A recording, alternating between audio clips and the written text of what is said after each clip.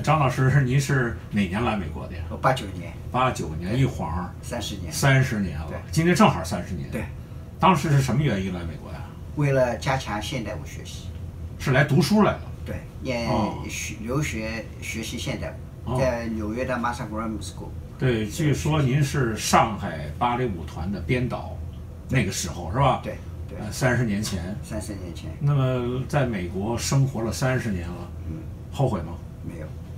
为什么？因为我觉得这里就是两个原因吧。一个原因就是我觉得我自己既然做了这么一个选择，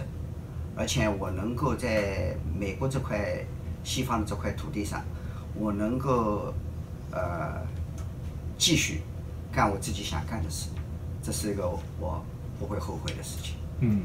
第二个原因呢，就是说，我觉得在这个地方呢，就是说，啊、你还是可以做到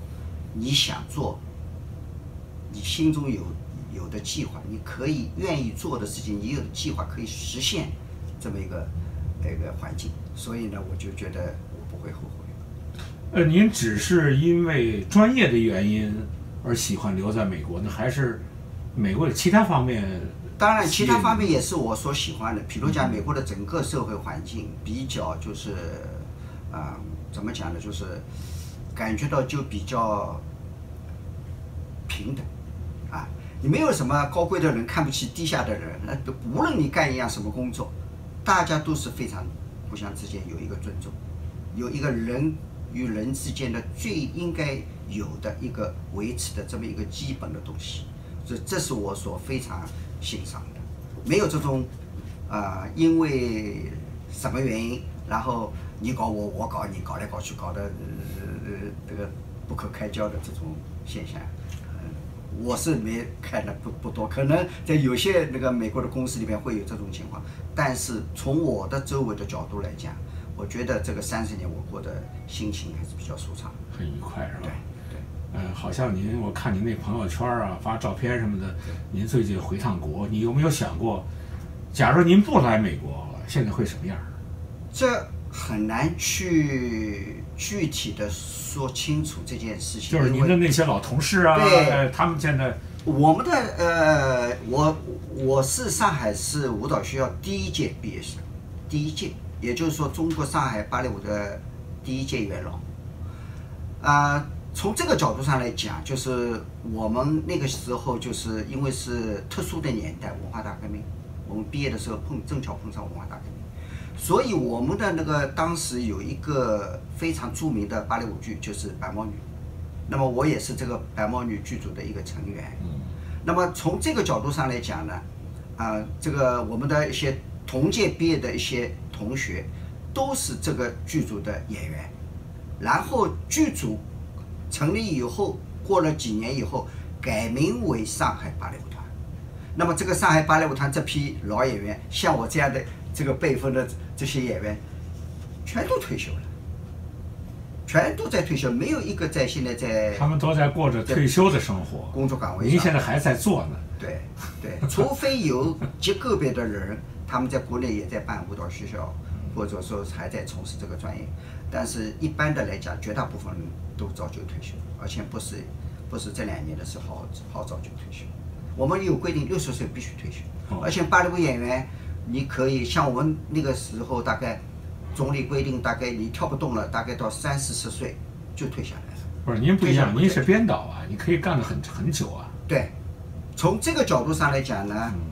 嗯，怎么讲呢？我唯一的有一个呃遗憾的地方，就是因为我自己出来以前就是舞剧唱制作、舞剧编导，那么我很愿意在这个我自己这个舞剧编导的这个专业上呢，能够有所发展。那你到了美国以后呢，这条路就等于是给堵上了。为什么呢？因为当时来美国，第一个目标是学习，第二个目标你才是学完了以后，你才要去发挥你的特长。但是如果你从你的背景，比如像我们这个背景，比如像是中国人，对不对？那么刚到美国，很陌生，你对这个国家整个的一个国家的这个文化呃社会，你都是不了解的，你有一个熟悉的过程，然后你的家庭家属又又呃陪读过来了，然后嗯，那你要去 take care 他们，儿子也过来了，他一个念书的问题。嗯，那么如果是我一个人的话，我会非常勇敢的去去进一步的创，怎么创呢？就是说创作。我不是创作，是嗯。闯入，比如讲闯入美国的一些舞蹈团体，嗯。啊，来看看我能不能有机会，我能够为美国的舞蹈团体里边专业团体里边创作一些东西做嗯做一些做一些我应该做的工作，嗯。我能做我力所能及能做的工作，啊，无论是做呃芭蕾 master 也好，或者是做呃排练者也好，或者说进一步讲，你能够如果有没有机会给你搞一些创作也好等等，这些都是我非常想做的一件事情。但是呢，由于家属来了，那就一个很现实的问题，因为一个芭蕾舞团，它它是呃周游全球，它嗯会离开一家一年也很长时间，所以呢，你不是不适合我现在这个刚到美国的人，把家里都不管了。像以前在上海，你要去搞操作，你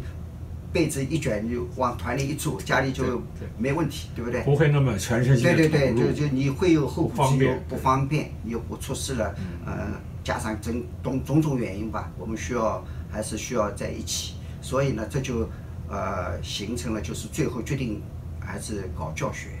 呃这么一个途径。那么从这个愿望上来讲呢，就是说，如果